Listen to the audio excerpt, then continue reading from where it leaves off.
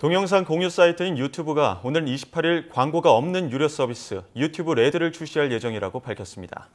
유튜브 레드의 월 이용료는 9.99달러, 약 11,000원 정도이며 회원이 되면 내년 초부터 본격적으로 공급될 이 회사의 독점 콘텐츠를 볼 수 있습니다. 이 독점 콘텐츠는 일정 기간 레드 회원만 볼 수 있으며 그 기간이 지나면 유튜브 일반 회원도 볼 수 있도록 무료로 풀리게 됩니다.